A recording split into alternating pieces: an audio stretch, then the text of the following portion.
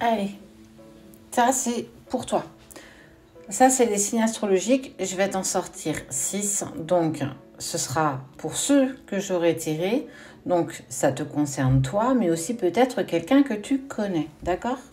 Et je vais te délivrer le message ensuite. Alors, pour les lions, balance, bélier, scorpion, verso et le petit dernier, taureau. Allez, on y va. Qu'est-ce que ça va nous dire tout ça? Tu prends ou tu laisses, tu adaptes hein, à ce que tu vis. Ok. On voit qu'il y a eu un début, un début d'année pardon, plutôt compliqué. On voit qu'il y a eu des efforts de fait, mais malgré tes efforts, il y a plein de choses qui ne se sont pas mises en place. Ok.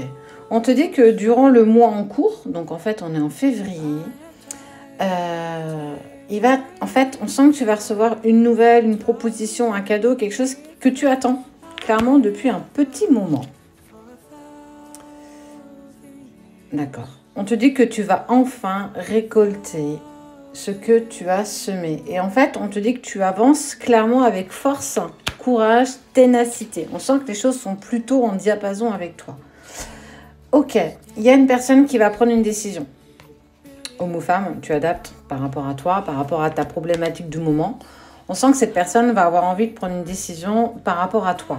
C'est un peu comme si là, fin d'année, début d'année, euh, il ou elle était dans l'hésitation. Ça peut toucher aussi ta sphère professionnelle, hein, si tu es en attente d'un poste ou personnel également. Et tu vois, les choses se mettent quand même en place.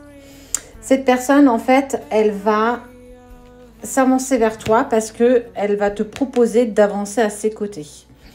Elle te veut avec elle. Elle a pris beaucoup de patience pour savoir si euh, c'était le bon choix. Et clairement, tu es le bon choix.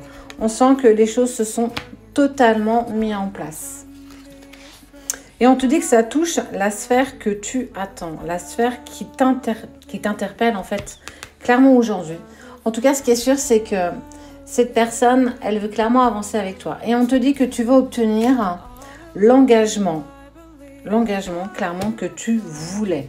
Alors ça peut toucher ta sphère personnelle comme ça peut toucher aussi ta sphère professionnelle. En tout cas, cet homme, je vois plus un homme quand même, hein, je vois pas forcément une femme. On sent que cet homme va prendre cette décision d'engagement avec toi pour avancer avec toi parce qu'elle t'a choisi. Ça y est, c'est toi que je veux, euh, professionnel ou sentimental. Tu vas avoir l'engagement que tu as toujours voulu. Les choses se placent pour toi.